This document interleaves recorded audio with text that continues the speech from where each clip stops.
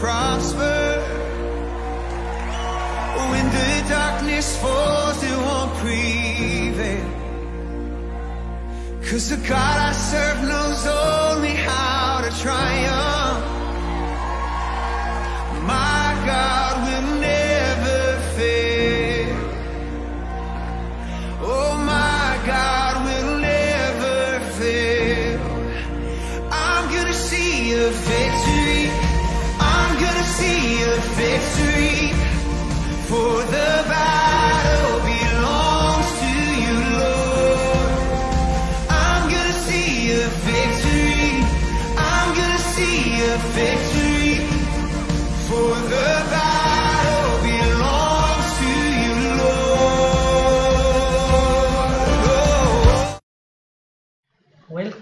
Viewer.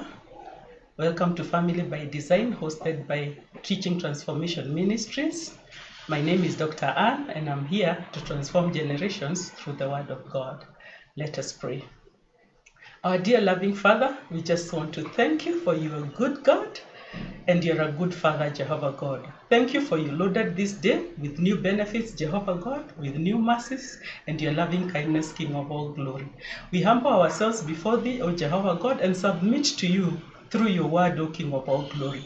We sit at your feet that you may teach us, you may correct us, you may rebuke us, Almighty God, and that you may make us what we ought to be, Jehovah God, that we may live and stay as you intended us to be. Because you are our Father and because you know us by design. We worship you, we honor you in Jesus' name.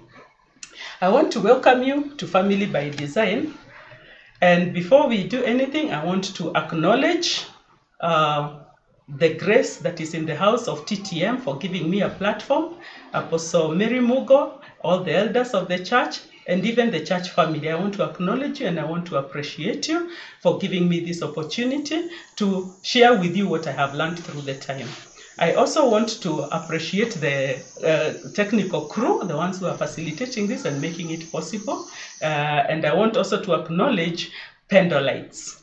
Pendolites, you know yourselves, the elect ladies. I know you're somewhere interceding for me so that this may go according uh, to the will of God. I also want to acknowledge my husband, my sweetheart. You are the pillar of my life. You are my best friend. And we are, if I was given a chance to choose again, I would still zero in on where you are. I know in heaven there will be no marriages, but I keep asking God that your villa in heaven will be next to mine so that we can be visiting each other and sharing the things we have, uh, the, sharing the stories and also sharing fellowship. And I also want to appreciate my children. You are the quiver, the arrows in my quiver. And I know God soon will be throwing you in every direction that He may do what He needs to do through your lives. So, is Dr. Ann an expert in marriage? No. My disclaimers are the only perfect family is the family that lives in heaven. The family of God the Father, God the Son, and God the Holy Spirit. The best marriage that we can emulate is the marriage that is between Christ and the church of God. There is no perfect marriage here on earth. Jesus one day was called good. Somebody called him good teacher. And Jesus said, There is no one good here on earth except uh, God the Father who is in heaven. So therefore, we acknowledge the perfect family uh, is the family of heaven. And the best marriage is the marriage between Christ and the church. And therefore, I am only here to comfort you with the same comfort that I have received during my journey with my family or in my marriage.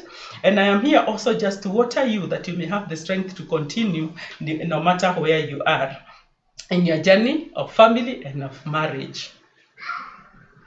And so, we have heard stories. We have watched uh, on the news. We've read newspapers. We've heard our neighbors tell us of funny things and terrible things that are happening within families. And there's a hue and cry, and we don't know what to do. To tell you the truth, nobody knows what to do except the author of families. God is the author of families. And because He's the author of families, we want now to come back to Him and get to know how do we put our families in order? What did you intend uh, to, do with the families? What were in the intentions of uh, God? And the only way we can do that is to go back to the manual. If, if we were to take an example, supposing you went to the shop and you bought a microwave from Ramtons. When you get the microwave, it comes with a manual that tells you how to operate it. It also tells you the do's and the don'ts. It tells you how to connect, what power you can use or what you cannot use. But it also comes with a guarantee. The guarantee is there to tell you that as long as you use it correctly, as long as you do the things that you're supposed to do and it doesn't function, bring it back to us. We are going to correct it or we are going to replace it, uh, uh, replace it or uh, uh, repair it for you at no cost. Therefore, now marriages are failing. Families are in chaos. What do we do? Let's go back to the manufacturer. And he gave us a manual. He gave us a manual. And if the manual doesn't work, still at the end of the day, we can go back to the manufacturer and tell them, now fix what you need to fix because we are not able, replace the parts that need to be replaced because we are not able.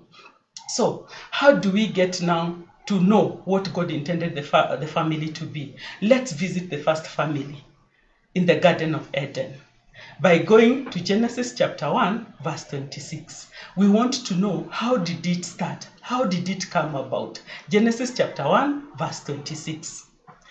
And Genesis chapter 1 verse 26 says, And God said, Let us make man in our image, after our likeness, and let them have dominion over the fish of the sea, and over the fowl of the air, and over the cattle, and over all the earth, and over every creeping thing that creepeth upon the earth. What do I want us to see there? I want us to see that God already existed in the plural form because he said, Let us make man in our image.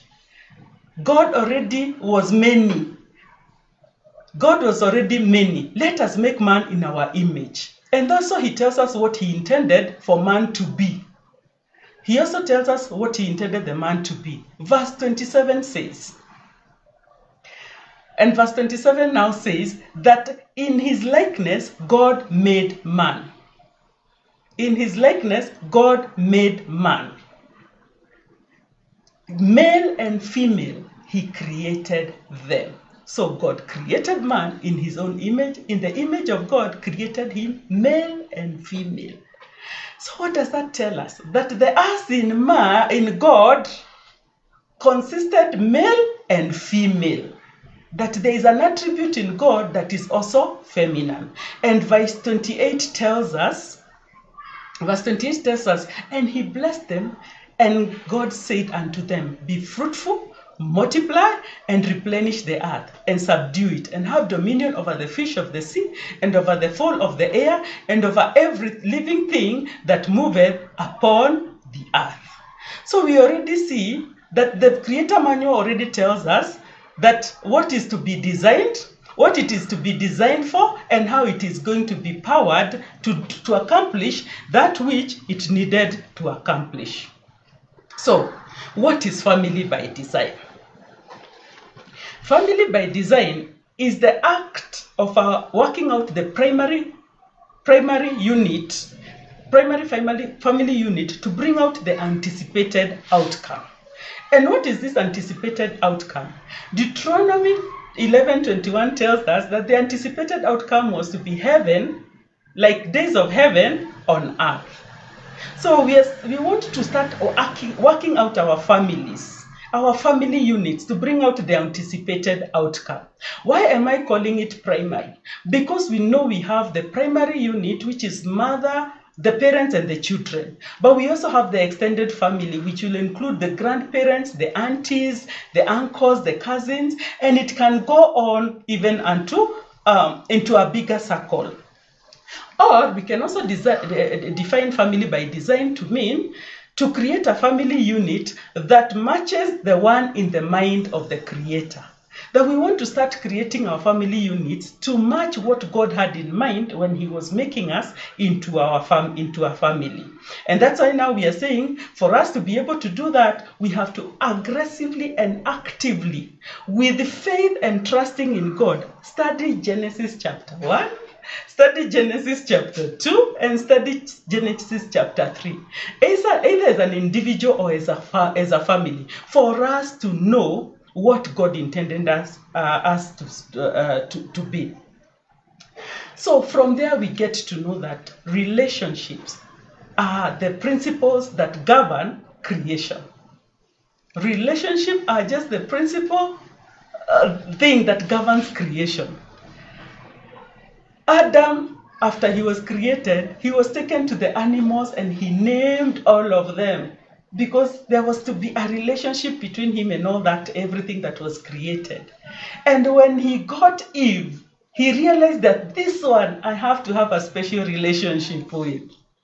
He even said some other things. That when he was brought a lion, he just said lion. When he was brought an elephant, he said elephant. But when he saw Eve, he said, Whoa, this one is flesh of my flesh, bone of my bone. He realized that this there is something special in the relationship that is going to happen between me and him.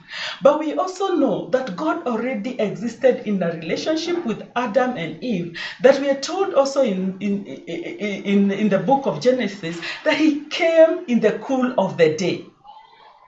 He came in the cool of the day to visit them. That is to have fellowship with them. You know, like on Sunday afternoon when you from church and then you want to go home, you realize, ah, I can pass through Pastor Mary's house and visit her and just have fellowship with her.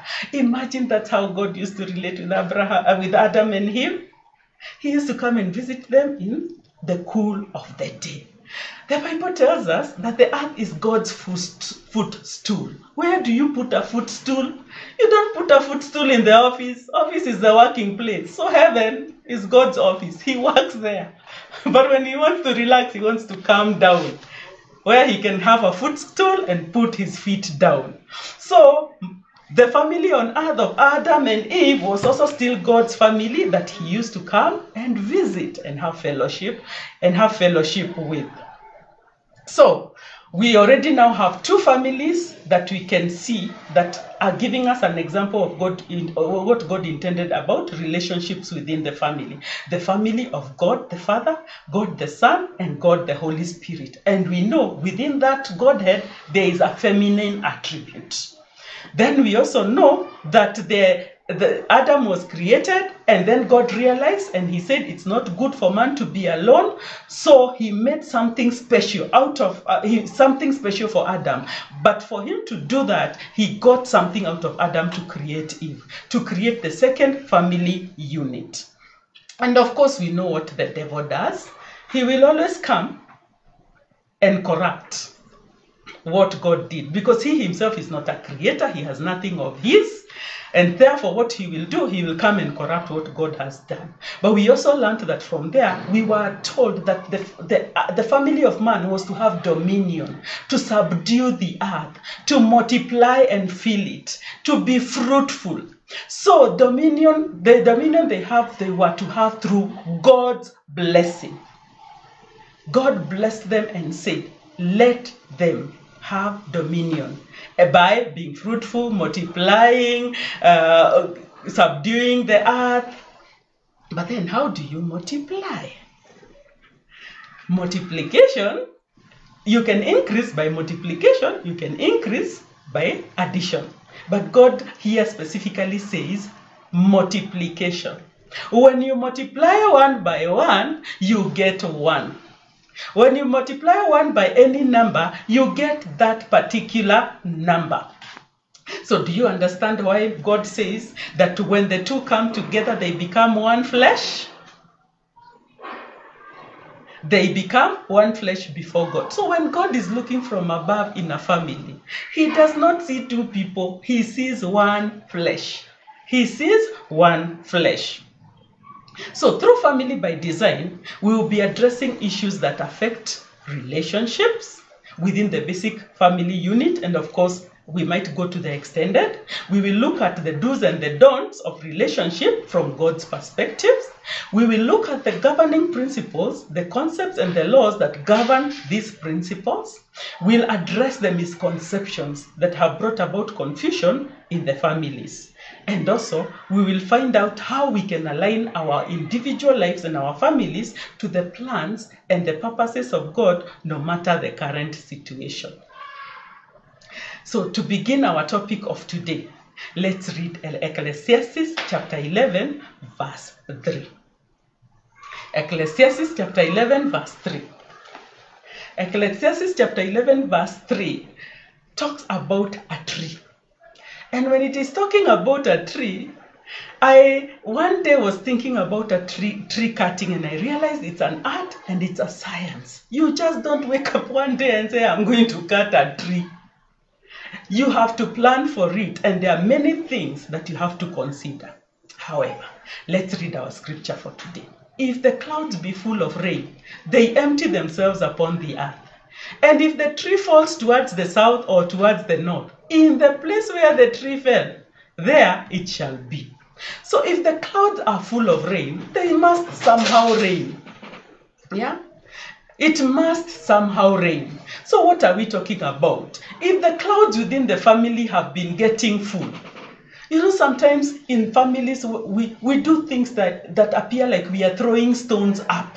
You know, unasema kitu, you do something, you say something, you behave in a particular way, and it appears like you are always throwing a, a, a stone up that does not uh, obey gravity at that particular time. It is still remaining up. And no matter how many stones you throw, no matter how many stones they throw, they are not coming down. But one day, when they will be full, they will rain like rain. And that is what has happened in some families. With this COVID 19, we have stayed together. And now all the stones that had been thrown up there, zimeanza kuporomoka. Yeah? Zimeanza kuporomoka. But the Bible says when the, the rain rains and a tree falls, wherever it falls, to the south or to the north, in that place, the tree, the, where the tree has fallen, there it shall be.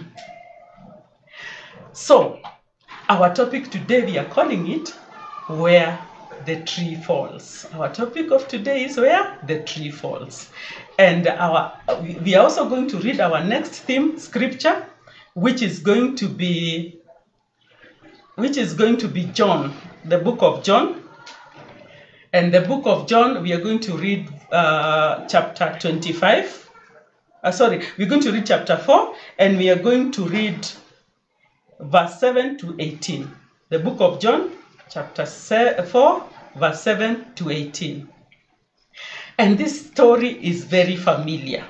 So we know it. It's the story of the wom- the Samaritan woman who came to draw water.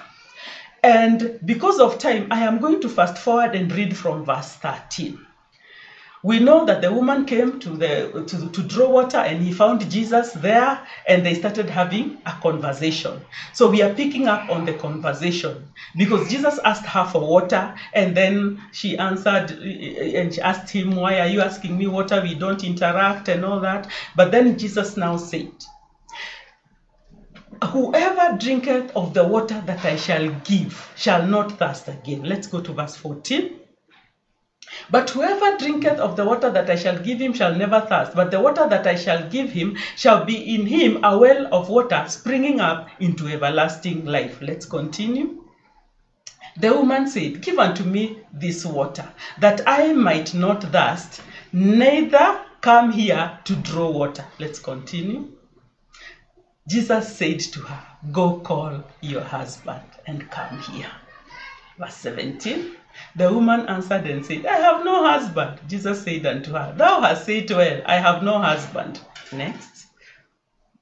For thou hast had five husbands, and he whom thou hast is not your husband. In that said, in that said thou truly. So now, after the conv- con- con- conversation ensued, now this woman wanted to know more about Jesus. This woman wanted to receive something from Jesus. This woman wanted to drink water that she may never thirst again. But remember what Jesus addressed first? Family. Jesus came and Jesus asked her, Where is your husband? And she was very truthful. She said, uh, I don't have a husband. But sasa Yesu yeye akamtoanisha. I know you have a man in your house, but you are truthful. Yes, he's not your husband, although you have had five husbands. So now, what what are we getting at with this story? We say that for the key, the key of dominion is the, uh, the ability of man to operate in both the spiritual and the natural realm. And Adam and Eve lost this ability when they fell. And when they fell, not only did they lose fellowship with God, who is a spirit, they also lost fellowship with each other. Adam lost fellowship with Eve, and Eve lost fellowship with Adam. Who and both of them are both spirit, were both spirit, and they were both flesh. And because they were reduced to be mere human beings, they started relying on their own natural instincts. They started surviving by their own physical senses. Now they reached where we have reached a tree fell. The tree fell. And they reached a place where they were evicted. And then when they were evicted from their homes, they had no food to eat because remember they only used to stretch their hand and pick a fruit and eat it. They could eat of any tree in that garden, in the fruit of in the tree of in the garden of Eden, but except for two trees. But when they ate, disobeyed and ate one, they lost all that privilege. Now they had to work the ground to get to eat. Now, because of Adam selling what he sold, their dominion to the enemy, God created another, brought another Adam in the form of his son Jesus Christ, who came and bought back. So when Jesus was born, died, and cruci- was crucified to buy back us back by his life and by his blood. Why was God going through all this trouble? Now, that one we shall answer along the way. But what I want us to know is Jesus did not just come and land down like Superman, ha, I am here to rescue you, or like Flash, or like all those heroes you want to you watch on TV. Jesus went through the natural process. God identified a family for his son to come and dwell with here on earth. He identified um, Lady Mary, who could be the mother of Jesus, who could carry the seed. The seed was to be provided by the Holy Spirit, but Mary carried the seed. But Jesus also needed an earth farmer, a father. And that's where Joseph came in. So even Jesus himself never broke the rule. His, God himself never broke the rule of family to bring his son down here to achieve what he needed to achieve. And so we know the story of Jesus. He was born, he lived, he obeyed the parents. He was a very good child. But he still needed to fulfill his dominion uh, and his uh, his plan and purpose on life. And so at the years at the age of 30, he went to do exactly that. And when he died on the cross, he gave us back our dominion mandate.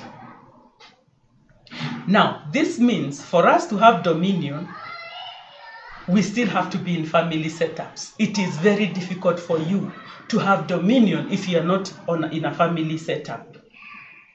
We still know that God also functions and still operates as a unit. But on a lighter note, we said heaven is God's office. Then who is it in the Godhead that stays at home? Anybody can guess? It's the Holy Spirit because He's the one who came down so that He may bring give birth to many sons and daughters. And then when the day comes for god to come for us he shall have many sons and daughter born through the holy spirit. So you see god still does not break break his family does not break his, his own principle. And so those those those principles still have to work within our families. What do we mean about principles? A principle that governs something is something that gives you um, rules or regulations or actions by which when you take them you get a particular result. I know you went to school and even if you didn't there are those who went. And then we learned for those who us, of us who reached secondary school we learned about the principles of physics or the principles of chemistry. Those are the principles of if you mix this and this you get this yeah? But i like one principle of physics. It's called the principle of uh, of uh, gravity. It also has a law. Now when you disobey the law of gravity it doesn't matter who you are. Are you the president? Are you the king? Are you the queen? Are you a baby? Did you do it foolishly or willingly? If you step out into the air you will fall down. You will do what you will fall down. That is the principle of physics, of gravity. So the principle is governed by laws. So do does God have some principles about relationship and family that we keep breaking? No wonder when the stones we have thrown up are uh, um, too many, they fall down, and the tree that we are, we've been trying to grow falls down. Now, marriage is just only the entry point of fulfilling your individual mandate. Why is it an entry point? It's because when the Bible says, For this reason, a man shall leave his father and mother and join to his wife. You start, when a man leaves his father and mother and joins a wife, they start a family unit.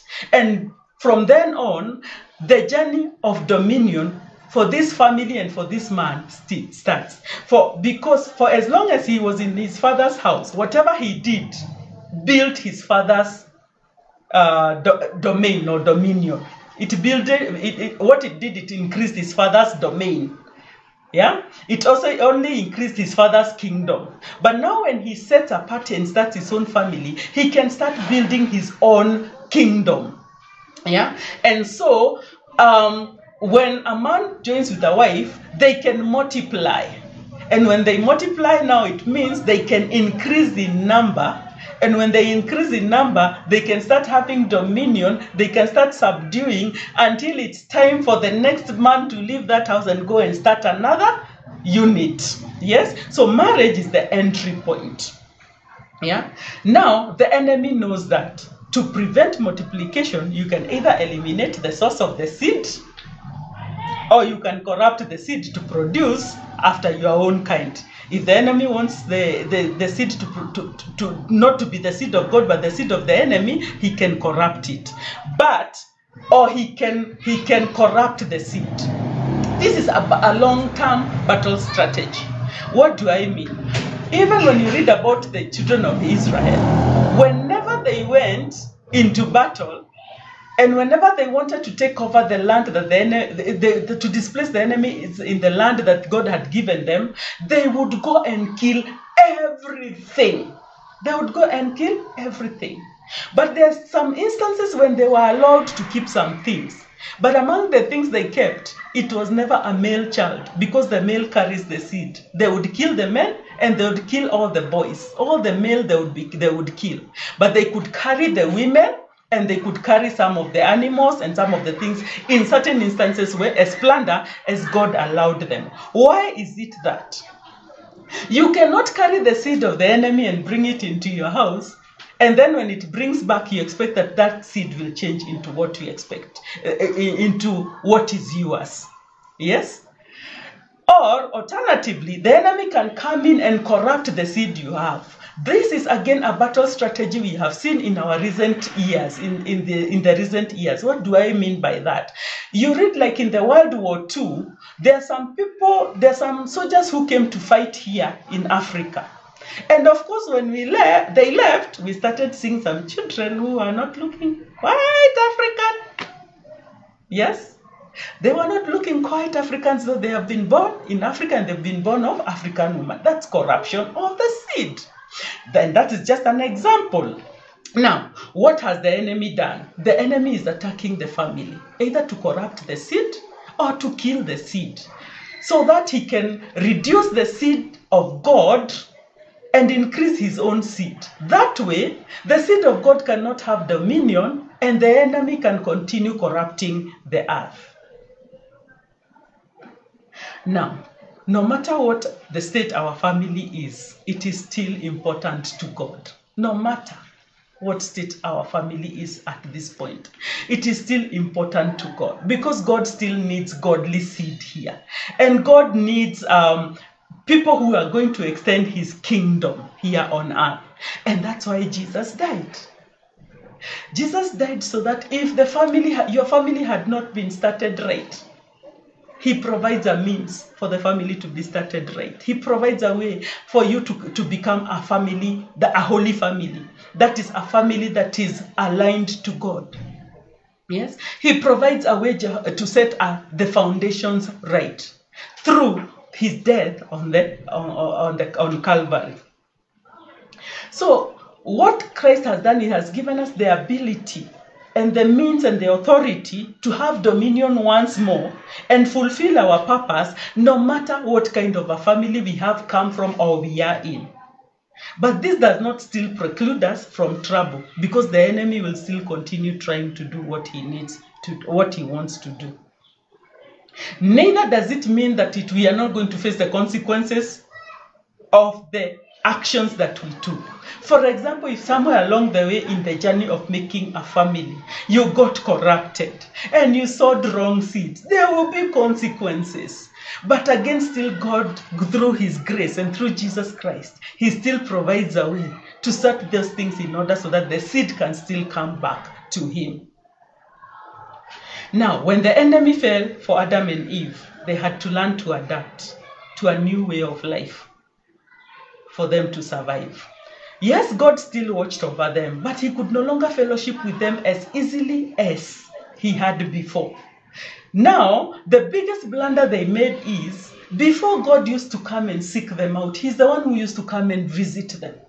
He's the one who used to come and visit them in the cool of the day and have fellowship with him. But now, this was no longer, in fact, they they broke his rest. You know, after seven days after creating, after six days of creation, the Bible tells us he rested. But immediately Adam and Eve fell. God started another project. And now he could not rest.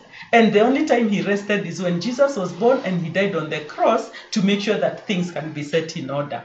So it started a new era for Adam and Eve. They had to seek God. They are the ones who now who had to seek God.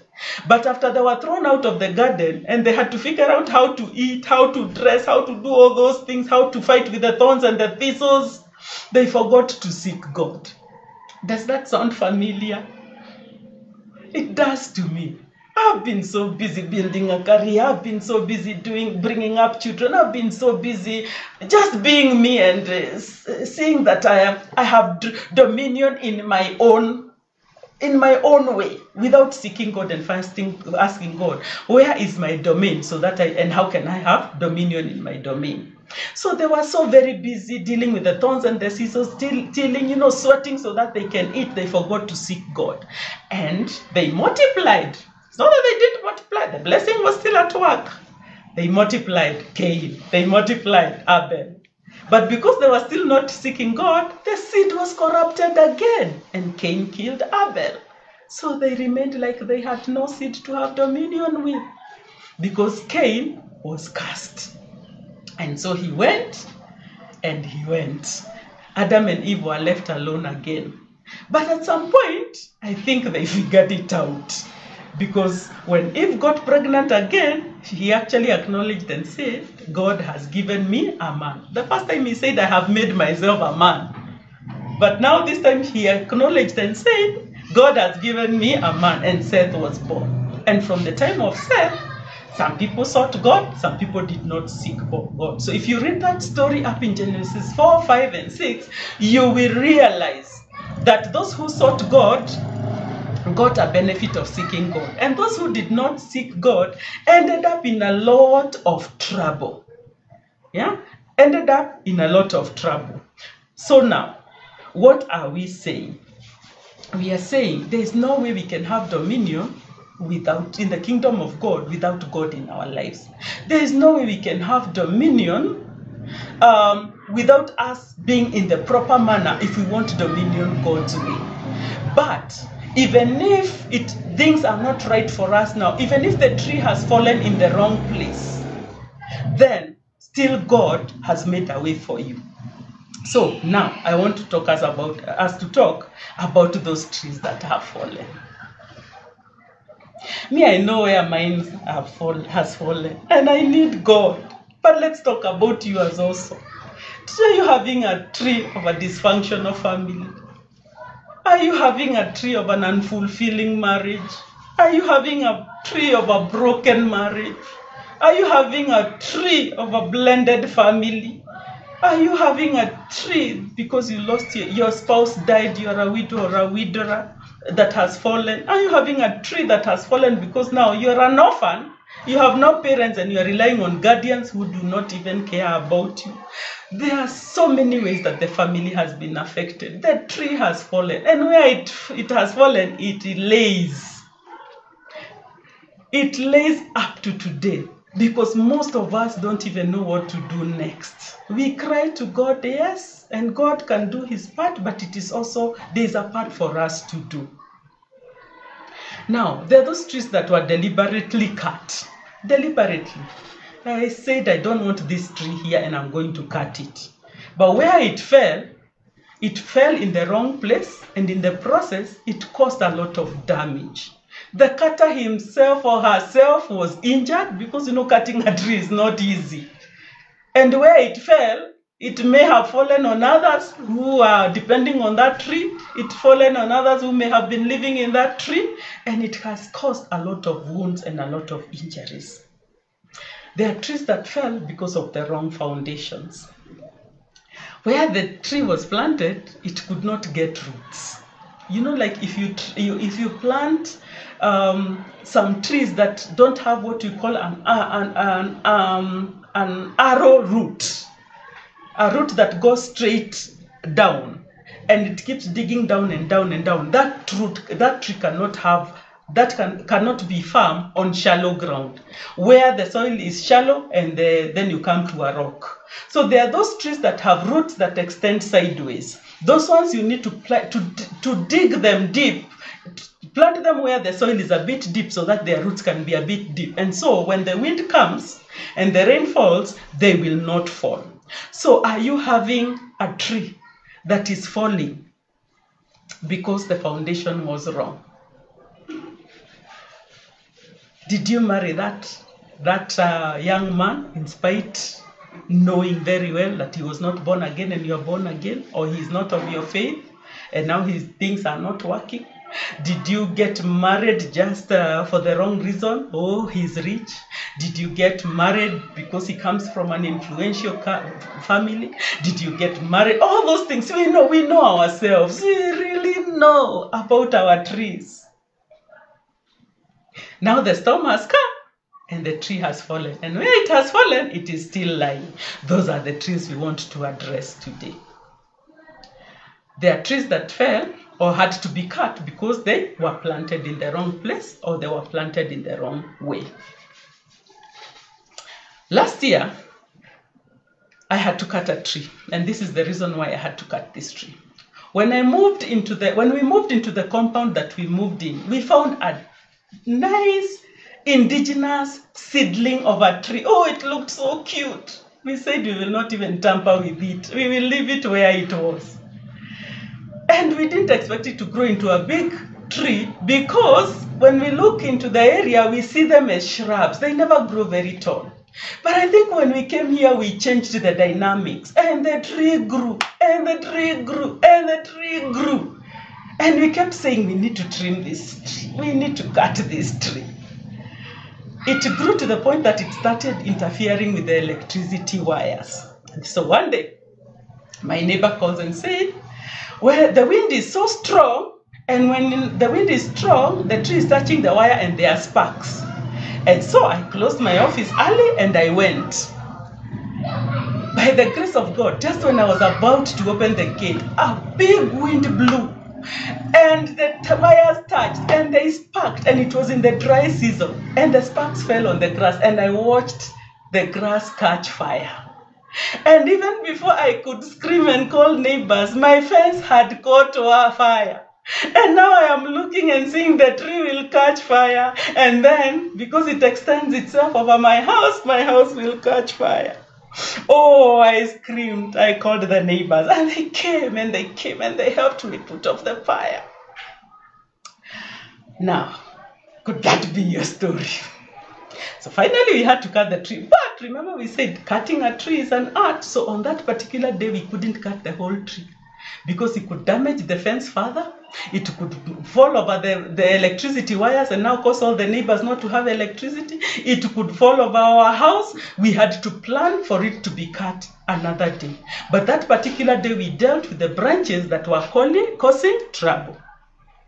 So, through family by design, before we are able to deal with this tree on the ground, which has broken fences and probably demolished the house and probably even uh, uh, affected the neighbors, we are going to find a way to minimize any more damage and move this tree and if possible cut it in a way that it can now uh, grow again.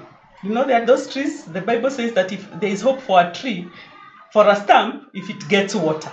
So we will also try to water those stumps that needs to be watered so that the tree can grow again. So we talked about injuries. What about those injuries? Yeah? There are some injuries you got that have never healed up to today. Some contain pus, the pus of anger, the pus of bitterness, the pus of uh, those depression, rejection. And as long as there is past, they will never heal. The, piece the pus has to come out. There are those ones that left. They healed, yes, but they left such ugly scars that you look at them and you want to keep them covered. Anybody who tries to uncover them, hey, atakiona. Sometimes, it, because of those scars, scars, you have sent other people away, or people tend to run from you because there are some things that they cannot touch in you. I mean, you umekuwa mkali, yeah, because of those those scars. We need to address them again. Do we have the people with emotional and physical scars? Do we have people who have the scars of troubled children because of what happened?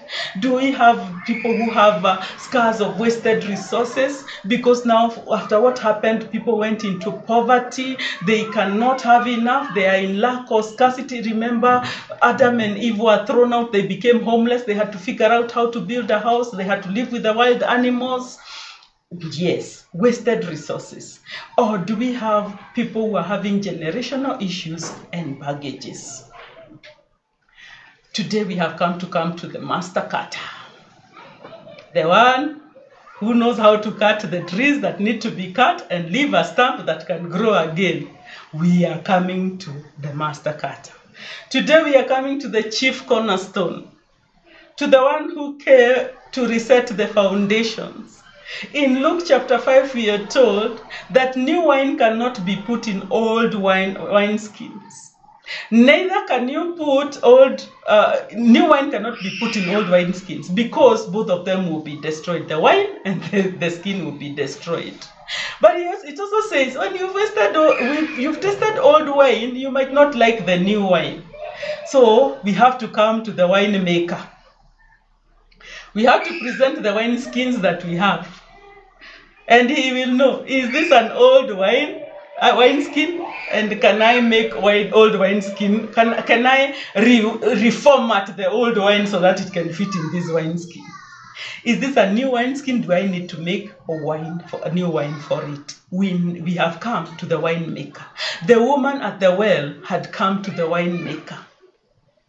The one at the well had come to the chief cornerstone, the one who laid the foundation. Because he, she had had five husbands, and even the one she was having now was not hers. And she needed something to change in her life. Therefore, today we come to come into the to tap into the heavenly blueprint for your life. The design that God had for your life we want to allow God to work through us and in us so that our families can be right. Because there is no way we can talk about family without first of all talking about me. Because it is several me, myself, and I that meet together to form a family. So if the me, me, me will always remain me, me, me, me among all the five, there will be trouble. If the I, I, I, I never changes, if myself will never change to be us, there will be trouble. Let's come to the chief cornerstone to help us to have dominion. Today in the morning, we were told that one key of having and being sustained in dominion is humility. We have come to come here with humility and tell the owner and the, our owner and our designer that we need to be sorted out here. God is omnipotent, he's, that is, He's all powerful. He's omniscient, He knows everything. He's omnipresent. He was there even when all those things were happening. He's here now and He shall be even in future with our children. And therefore, he, have a, he has a divine solution. He watched the whole thing unfolding. He has a divine for, solution for you and for me. We want to begin to see our situations in a new light. That's why we're asking God to make us either new wine, wine skins so that He can pour wi- new wine, or he can give us a solution to the situation that we are in. So we are today we are here that God may open our eyes that we may see things in a new light. Begin to see your, your spouse with a new light. Begin to see that son or daughter with a new light. Ask God to give you the eyes through which He sees them. Gideon, when the angel came, Gideon was hiding, but the angel called him a mighty man of valor because that's how God sees him. So, how does God see your spouse? How does God see your children? That, that, that rebellious child? How does God see that child who is in alcohol, in prostitution, in all quagmire that you've been crying about. Tell God to give you that vision so that you may be able to pray to pray uh, to, uh, to pray it into purpose. And then when it comes to these wounds, which have no choice but to allow the chief surgeon to come in. I'm a doctor. When you come with a wound, hey, let me tell you what I do. I first of all expose it. Hata kama ulikuwa umefunga na kitambara, I have to expose it. So those scars have to be exposed. We have to bring everything to the light. We have to tell God the way things are, like the, the woman at the well. Yes, I had five husbands, but I now, I, right now, I know I don't have a husband. We have to say it as it is, as we tell God. Then we take a knife. If there is pus, lazima tukata, we have to make an incision and squeeze out that. So it's not going to be an easy task. I might say some things that you don't want to hear, but it is the past being squeezed out. God might talk to you in your bed because now you have said, Open my eyes, open my ears, and open my heart, Lord. And He'll tell you some things that you may not want to hear. You might go to God like I did one day and tell Him, What about my right? And God tells you, At Calvary, I bought your rights. because God owns your rights. Yes? And so, whatever He wants you to do, He'll expect you to do. So the pus has to be squeezed out. It's a painful process. If there is no pus, the dead tissue has to be cut until fresh blood comes out. Yeah? I know some people are saying, yuck, but that's the work of a doctor, and I'm taking you to the chief doctor because the tree fell, it caused some wounds, and unless those wounds are addressed, the family has to will not be sorted out. Then after after we see fresh blood, when pus is squeezed out and fresh blood comes, or when the dead tissue is removed and fresh blood comes up, that's the only time now medicine is applied. And then the dressing can be done. So let's come to Jesus. Let him squeeze out all the pus. Let him apply the balm of Gilead. Let him uh, dress our wound with his love, with his grace, and with his mercy. And keep dressing it and keep dressing it until the day it will be healed. And once it is healed, go out there and try to heal somebody else's wound. So today we are beginning a journey. And this journey is to, uh, to help us to find out where is my family now? And ask god where should our family be? Give us the vision of the proper the proper vision of our family so that we start journeying to that to that uh, uh, place. So it has come to a time for prayer. Your tree has fallen. There are wounds.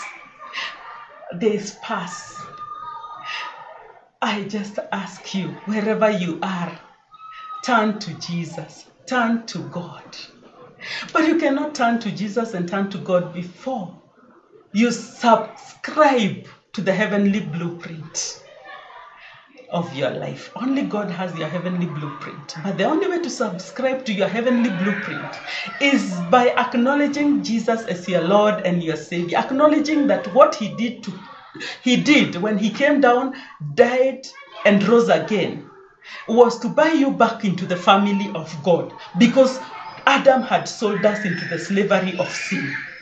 So we have to acknowledge that. And so let's ask God. I'm asking you, if you Jesus is not your Lord and Savior, this family thing is not is going to be hard on you because the only way is by going back to the manufacturer's manual and doing the do's and stopping doing the don'ts. So if you're not born again, I invite you to surrender your life to Jesus wherever you are. Remember, we said He's our, He's omnipresent. He's everywhere. I know He's here with me, but He's also there with you.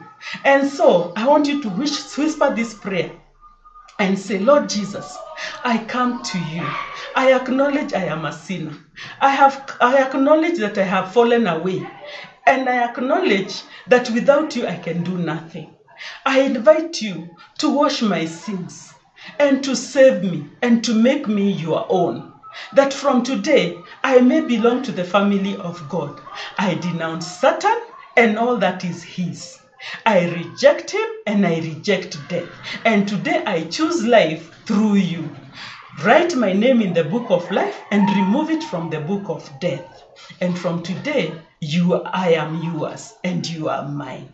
In Jesus' name. Imagine the Bible says, if you believe in your heart and you confess with your mouth, then you are saved. Now you are saved. Can you go after this, after we finish this? Can you run and tell somebody that you are saved? Can you, in fact, just throw us a word? Just type in the chat that now I'm not saved, and uh, now I'm saved, and give us your phone contact so that we may we may walk together this journey of salvation. Now that we are born again, and now that uh, all of us are here are born again and we want our families to be right, it's time to pray. But this one, me, because even me, I'm praying for my own, my tree has fallen, remember, I also just want us to confess together. And this is the confession that we want to, to, to, to, to, to say. I want us to confess us together this, uh, this confession. Oh Lord, open the eyes of my understanding. Repeat after me wherever you are. Don't be embarrassed.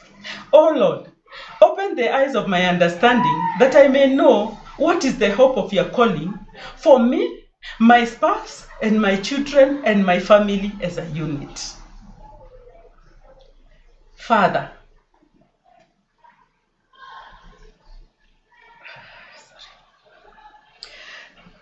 you were God, you were pleased that your son Jesus should take the fullness of all things, and, and all the fullness of things should dwell in your son Jesus. And through the blood of Jesus Christ, I pray that my life, my spouse, my marriage, my children, and everything that uh, pertains to my family shall be reconciled back to you. I surrender myself, my spouse, and my children and my family to you. Let the blood of Jesus reconcile them back to you. Father, fill us with the knowledge of your will in all wisdom and spiritual understanding concerning this issue. You know the issue. Where the tree falls, it is you who knows. Are you separated? Are you having a rebellious child? It is you who is going to tell God what that issue is, and ask Him to fill you with the knowledge of His, or, to fill Him with, fill you with knowledge and wisdom concerning that issue. That the decisions you will make, through the decisions you will make, you'll walk as individuals and as a family in a manner that is worthy of the Lord. That you'll be pleasing and being be fruitful in every good work as He has called you to be. And now, Father, I am praying for you in the name of Jesus Christ. And now, Father, I pray that every embodiment of demons and ancestral powers that have been seeking to renew bondage and shall be seeking to renew bondage in the in our families, oh Jehovah God, in every family represented here, King of all glory, as they come to us through the wind, as they come to us as a cloud falling down, Jehovah God, they shall meet with you and collide with you because you are the rock of ages, and they shall be dispersed, never to return anymore. In the name of Jesus Christ. Father God, I pray that if there is there be any dark river that has been flowing to our to our families, from our parents, from our in-laws, from our fathers or mothers' side, Abba Father, we pray that today you open the ground and let the ground swallow that river today and dry it forever in the mighty name of Jesus Christ. Father, today we pray if there be any curse if there be any word spoken that has been working contrary to our families, to our marriages, to our children, Jehovah God, that the that the, the voice of the blood of Jesus Christ today will speak a new thing and a fresh thing for the families that are represented here, Jehovah God. Father, I pray that from this day, Jehovah God, the blood of Jesus Christ will begin to work a good thing. That the blood of Jesus Christ, according to uh, Hebrews 13, verse 20, will set a new foundation in the mighty name of Jesus Christ. We will equip the wives to be good wives. We'll equip the husbands to be good husbands. We'll equip the children, mighty Father, to fulfill their plans and their purposes, O King of all glory. And that Jehovah God, you will make us what we ought to be, and you will work in each one of us to will and to do your great pleasure, so that our families may once more uh, stand in the name of Jesus Christ.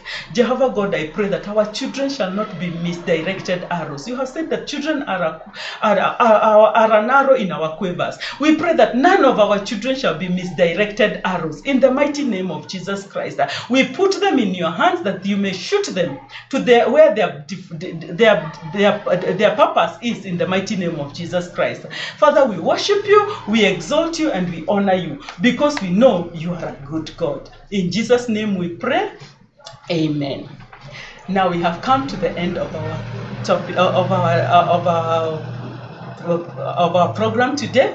And in the name of Jesus Christ, I hope you have been blessed. I know you have learned something. I know that you have something to continue doing until the next week, reminding God of those wounds, asking Him and allowing Him to to uh, to, to, to squeeze out the pus.